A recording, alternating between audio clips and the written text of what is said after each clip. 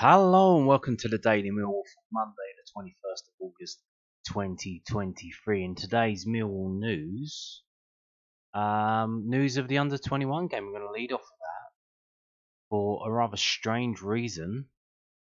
Um, about five first team players were involved in uh, the under 21s game today, which uh, is weird in itself. The reason why that's weird, extra weird, is because obviously we played yesterday. Well, I'd say played. We turned up um, and run around on the pitch a bit uh, at Carrow Road on Sunday yesterday.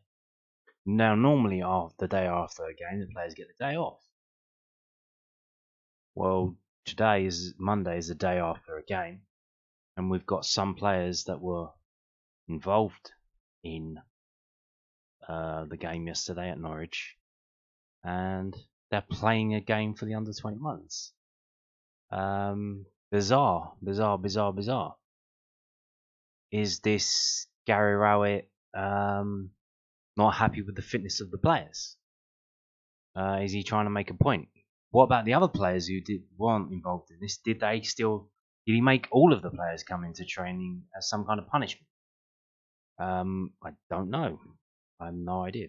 Maybe he did. Maybe he uh, put his foot down and uh, played played the tough guy with the, with the players and made them come in on their day off.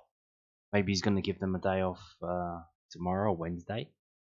Um, but I'm sure they don't probably want to appreciate uh, the changing of the protocol um, that you would have the day off after a game.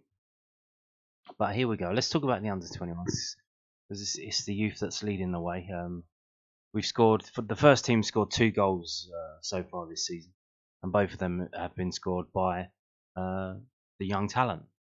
Uh, one from um, and one from Aidomo Emakhu. So, uh, Mill under 21s see off Burnley at Calmont Road. Uh, Mill under 21s defeat Burnley 3 1 in the Professional Development League on Monday afternoon. George Evans gave the George Evans, not the goalkeeper George Evans, uh, the midfielder George Evans. George Evans gave the Lions the lead at Calmont Road, and although the Clarets equalised, second half strikes from Aidomo Emakhu and Seb Drozd. Yes, Aidomo Emakhu, that player, the one who actually turned up yesterday and looked good when he came off the bench and scored that win, uh, that goal. His first goal in English uh, football. I've seen a lot of people saying it's his first goal in professional football, kind of uh, insulting to St. Pat's. He played in the Champions League and scored for them. Uh, tech, I don't know about some Pat's. Are they an amateur side? Are they semi-pro?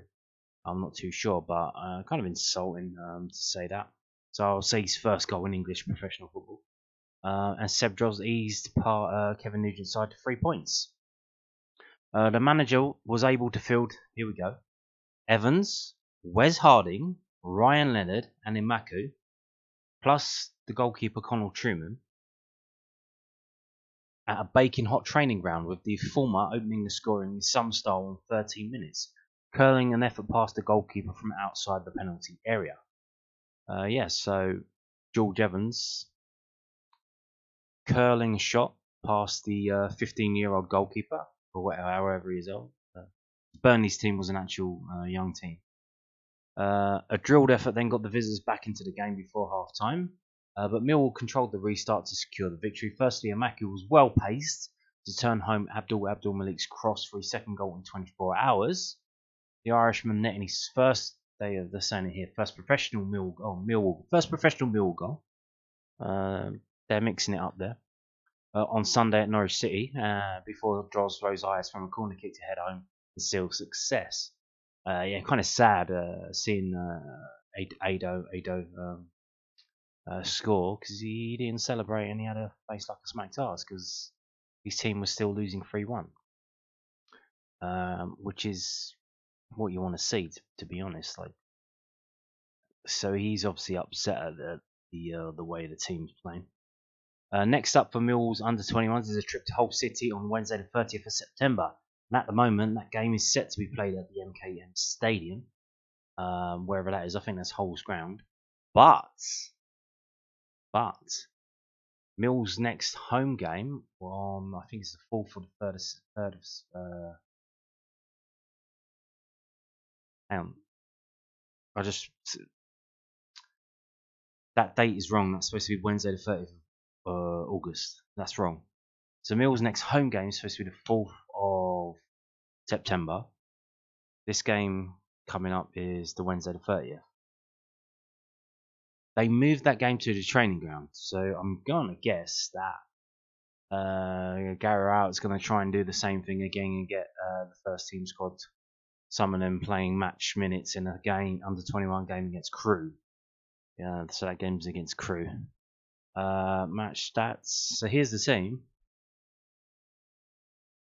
Trueman, Smith, Adam Maliki, Harding, Leonard, George Evans, Lawson, Grant, Emakhu, Abdul Malik, and Leahy. They started.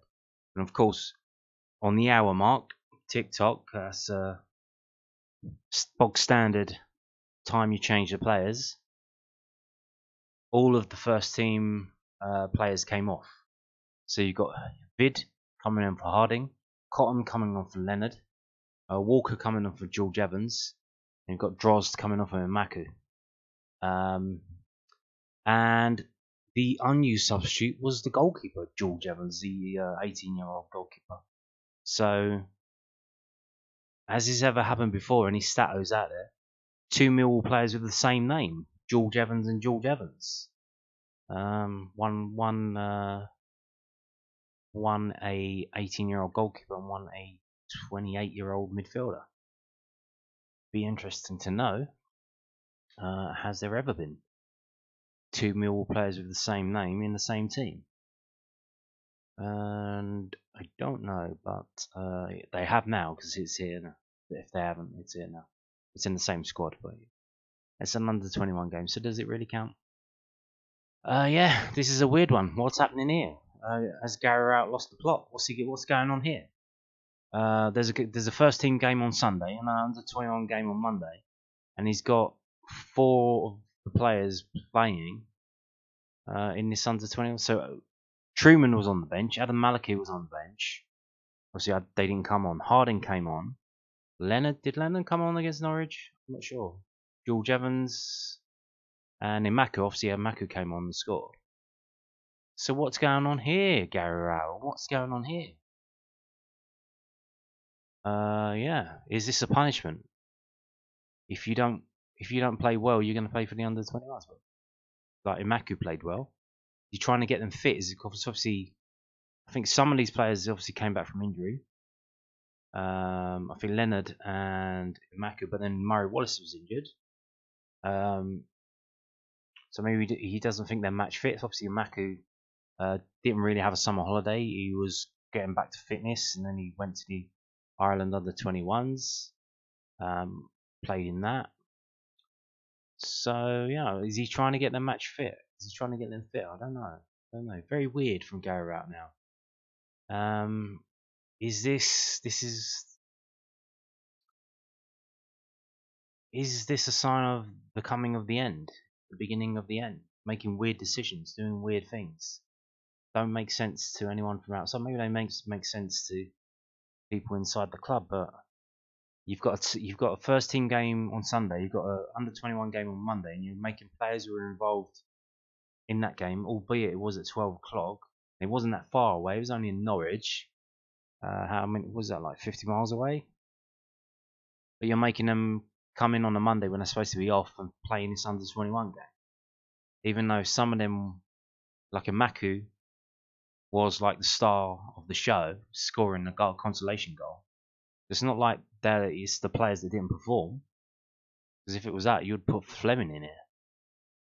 Uh, yeah, what's going on? What's going on, Gary Rowett? Are you losing the plot? Is there a rhyme or a reason why you're doing this? I don't know. It seems all very weird. It does seem very weird. Um, but again, maybe it's just fitness, trying to get them fit, match fit. Who knows? Uh, so, the under 21 manager, Kevin Nugent, hoping to nurture new crop of under 21s. Uh, maybe, well, here's the thing maybe it's the other way around. Because we know we know the under 21s have uh, been weakened this season. Their best players have gone out on loan, and two of them gone into the first team with Esse and Emakhu. maybe they're a bit short, and he's asking, "Do you have any players I can who can play for us?" Maybe it's gone. It's, it's the other way around. Maybe it's Kevin Nugent asking for players. Don't know. No idea. Absolutely no idea. So Mill under 21's boss Kevin Nugent praised his players for their effort on Monday afternoon. Goals from George Evans, Aidomo Emakhu and Seb Drozd saw the Lions beat Burnley 3-1 in National Development League at Calmont Road, uh, easing through the second half after a competitive first in the Bromley Heat. No game ever begins comfortable, comfortable, but you can turn it into a comfortable one by the end of it, Nugent told millfc.co.uk. The lads had to graft for the first three points today. Uh, Burnley side. Uh, they put in a real stint in the first half and continued that into the second. Evans was joined by Ryan Leonard, Wes Harding, Connal Trueman, and Emakhu as first team players in the lineup. I've been doing this for a few years, and any time that the first team players have stepped into our group, they've been absolutely fantastic. Uh, today, epitomised that, and that inspired the younger lads who sh- should have seen that as really good for their development as well. Uh, Mill won the Professional Development League South Division and National Final double last season and will hope to defend those across the course of the 23-24 season, but Nugent erred on the side of caution when discussing those heady heights once again. It's difficult because the team changes every year because we did well last season. Uh, some of those lads are now out on loan, so it's, it's now about getting a, a new lot through and making sure we play to their strengths. There you go. So he's not, no, he's not really giving anything away why the first team players are involved. Maybe it's just the bulks of the team. Um, but uh, yeah, what's going on? Uh, we've got pictures from that game. So you can see the ones involved. There's Wes Harding there. Uh, George Evans after his goal, getting a celebration. Doesn't look too happy, does he? But they don't look too happy, Wes Harding, George Evans. Obviously, Adam Malachi does, but they they, they don't. So maybe it's like they've been forced to play in this game. Uh, Ryan Leonard there. George Evans, uh, Emakhu. There he is uh, taking a shot on. Abdul Malik sprinting along. Hard to see anyone involved in the back. Is that Gary Rowett there in the background, blurred out, standing on his own? Is that him? I don't know. I don't think so. But who could it be? Um, George Evans again. So you can't really see who's in the background if the fir- other first team players were there. And if they were watching the game, well, they made. Is that Flemming there in the background? That looks. Is that Flemming there in front of that white van? Uh, I don't know. Does look look look a bit like him if you squint a bit. Um, so yeah, maybe they did. Maybe the, the other first team players were told to come into training today. Uh huh. Um, there you go. There's the actual under 21 team that were on the pitch at the end celebrating the win. Um, and there you go. So yeah, weird one, was it? Weird one. What's going on there now? Obviously, first team is all doom and gloom, uh, disaster, disaster. Under 21s doing well, even if they did get a little bit of help from uh, the first team pros. Or the under 20, uh, the under 18s are off on them as well because they play Burnley as well. Uh, they play Saturday mornings, so they don't play uh, the under 21s because obviously they've finished school. Most of them are 18 and over. They play uh, weekday afternoons, which is if you're involved in that as a football manager or a coach, pretty decent job for you to get the weekends off. Um, but not so if you're under 18. You've got to get up early and go Saturday mornings around the country. So this is from uh, this is from millfc.co.uk. Mill under 18s begin their 23-24 professional development league campaign They 4-1 win at Burnley. They were away to Burnley on Saturday. Uh, looking to go one step further than their playoff semi-final defeat last season. Yet they got into the playoffs, uh, which they finished second in their group, I think, and then they lost their semi-final. Um, Cavalli Haywood gave the Lions a lead with a penalty kick in the 28th minute, with Frankie Baker making it two just a minute later. Wow. And added one more before the half-time break through Jack Howland. Well, Hayward's uh, Hayward scored his second and Mill's fourth in the second half. Callum West pulled a goal back for Burnley on 86 minutes, but that proved as mere consolation as the Lions started the season with three points. Uh, Mill under 18s are next in action on Saturday as they take on Peterborough United at Calmont Road. And there we go. I'm just going to struggle with this. Przwozny in goal, Hodgeman, Olugbodi, Massey, Mansour, Stevenson, Beaumont, Machiochia, Baker, Haywood, and Howland. Uh, so there you go. Uh, interesting stuff. Uh, the under 18s and the under 21s getting it done. Um, and ironically, in the first team, it's the same thing. As I said, Romain Esse and Aidomo Emakhu are the only two players to score for us in, what is it, four games now? Three games? Uh, four games. Uh, so, moving on. New stadium tour. Dates on sale. This is from millfc.co.uk. And here we go. Wednesday the 13th of September. Wednesday the 20th of September, which is the Rotherham United game. So that's a pre-match tour. So if you're coming over for from abroad for this game, maybe bundle it up with going on a little tour of the ground, um, as well as uh, going to watch the ground at, the uh, end of the day, 7:45 kickoff, I believe. Uh, Friday the 22nd of September and Monday the 25th. So really pumping out these tours now, aren't they? Um, must be. Hopefully they're, they're probably selling them out. Uh, here's the prices. Obviously these seem these are just normal tours, I think. So it's the top pricing. And there you go. If you're interested in that, uh, there, there's the uh, information to do that. Moving on now to talking of tours. This tour been mentioned before. They got a new one coming up. Uh, Sunday, the, September the 10th. I think that's uh, the international break because they normally do these international break. So what is that? What is that? Um, is that three weeks away? Three weeks away, I think. Uh, Mill FC History and Heritage Walking Tour. Walking Tour. 25 years on the Isle of Dogs. Yes, you go to the Isle of Dogs, and then you you meet up with uh, the uh, what do you call what do you call them? Um, the the walking guide, and other other Mill fans who turn up for the event, and you walk around. So you'll meet up at West India Quay, and uh, it's three hours, and you walk around, and he'll tell you all about um,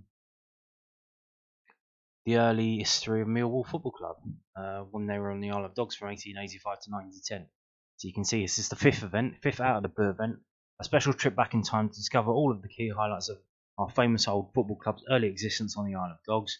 Uh, discover the very place where we were founded, the pub culture instilled from day one, the workplaces of our fan base, our club headquarters, plus all four sites of our very first football grounds in 25 years time space before we moved across the river. Uh, yeah, many, many uh, bit of a what would you call it? Vagabond history, tramping history, moving from ground to ground in 25 years, having four different sites before they think, oh, we've got to do something about it. You can't go on like this. We need to find out something a bit more permanent. And then they end up going over the river. Uh, this is a history and heritage tour which explores Millwall's life on the Isle of Dogs, the early days, the rapid progress, the highs and the lows of the once leading light of London football. Uh, learn how an amazing FA Cup run led to our nickname, uh, the Dockers, uh, would lead us to be known known as the Lions. Uh, the Isle of Dogs has an history. The Isle of Dogs has an interesting history too, which is interwoven into the very fabric of our DNA. You will hear some of the myths debunked, some less known secrets, plus plenty of amusing anecdotes to keep you smiling. We take a half time break in a pub, which was our previous headquarters, and uh, have a quiz with prizes which is always great fun. Anyone who walks the walk will also receive a souvenir booklet. If you join us on this tour, we shall endeavour to provide you with both a memorable London tour experience, but also a unique, unique insight into the history of Millwall Football Club. And it's this is from eventbrite.co.uk. So if you go on that and search for Millwall, this should be one of the things that comes up. Uh, it's called Millwall FC History and Heritage and Walking Tour.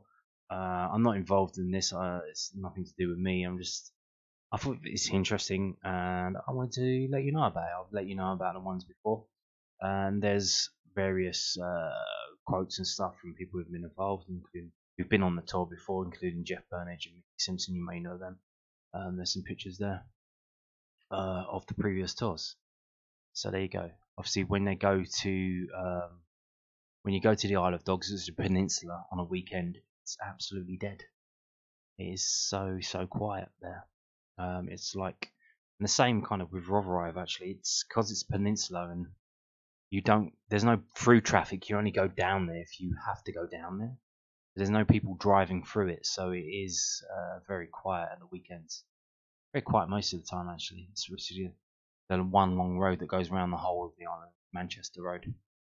Um, so there you go. There's the photos from previous tours and stuff, and uh, t-shirts and stuff and stuff. So uh, should probably stop saying stuff. Um, say other words other than stuff. But there you go. Not bad stuff. Substance stuff. Uh, moving on to the Loan Watch. It's a Monday, so how did the Millwall loanees get on at the weekend? Well, let's have a look from millwallfc.co.uk. Uh, Millwall's loanees in focus. Two of Millwall's four loanees were in action this past weekend. In North London, Nana Boateng played the second half of Woking's 2-0 Vanarama National League defeat to Barnet. The Cards found themselves 1 0 down at the break due to Zach Brunt's strike, but although Boateng attempted to help Woking back into the game after the break, a further goal from Brunt on the hour condemned them to a loss. Elsewhere, Chinockley played the full 90 minutes as Bromley secured a clean sheet in a feisty encounter at Kidderminster Harriers. Cole Kpekawa and Jack Lambert were both given their marching orders at Aggborough in the draw. Uh, so it was a nil-nil draw.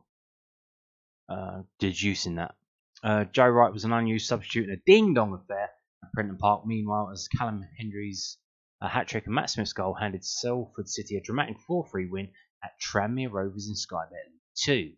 Uh, Alex Mitchell also watched uh, on from the bench as Lincoln City beat Shrewsbury Town 1-0 in Shropshire. Yeah, we, he joined late on this week, didn't he? So I didn't expect him to play.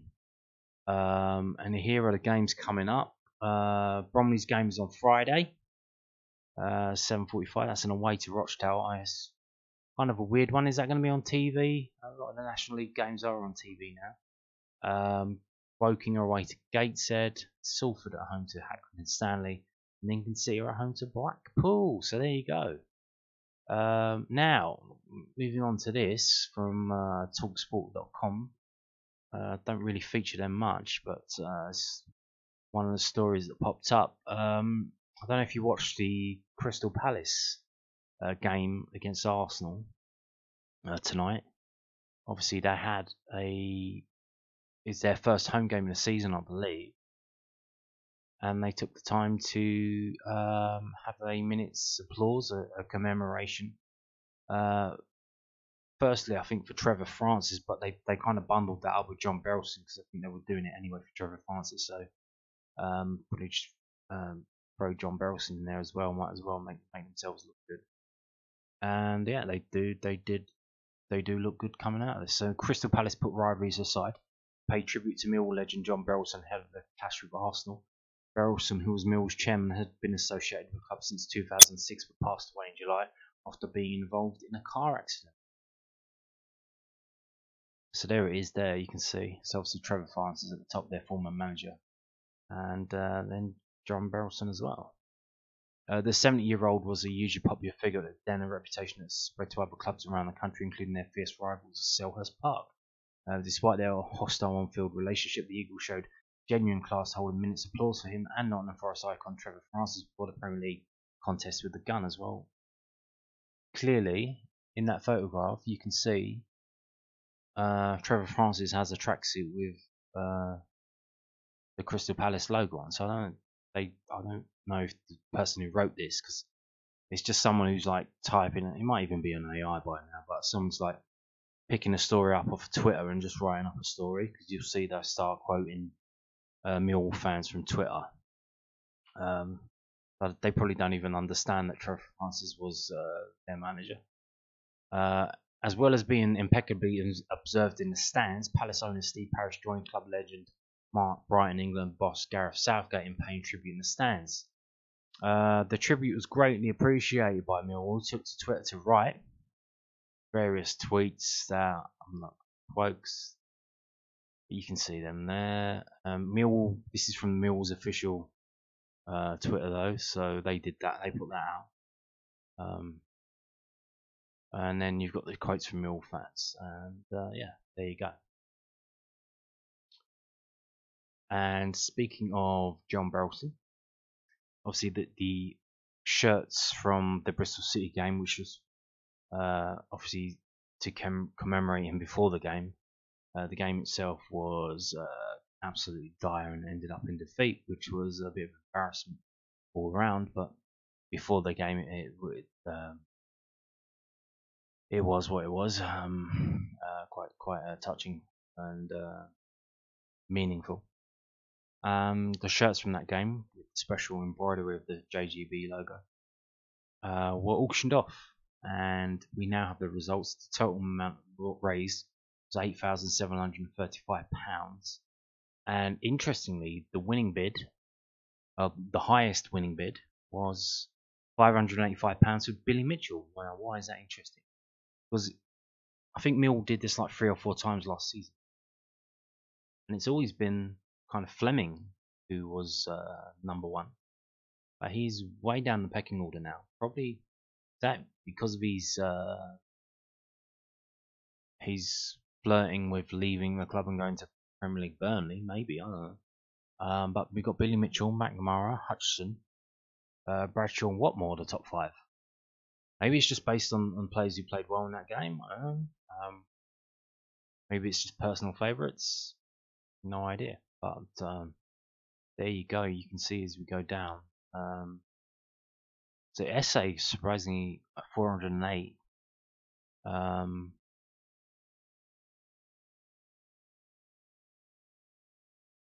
and the lowest one of the ones that was worn on the pitch was Ryan Leonard, 364 and then you've got ones of the ones that were issued but weren't worn. And interestingly, the most of so the unused substitutes, the highest was for Harding, four hundred thirty-one pounds, uh, which is higher than Jake Cooper's, Casper De Norre's. So that's interesting. And the lowest was George Evans, 328 of the unused substitutes, but the lowest overall as well. Uh, but altogether, um, £8,735 raised. Um, the badges that were on sale at Mill Sports Club sold out. Uh, they've ordered more in, but they're holding them for people who go to the game, the Stoke game. So people who want to buy them in person, they're holding them back for them first, and then they're going to put them online after. Um, so yeah, lots more to come. So good stuff there. Uh, and on that note, thank you for watching and goodbye.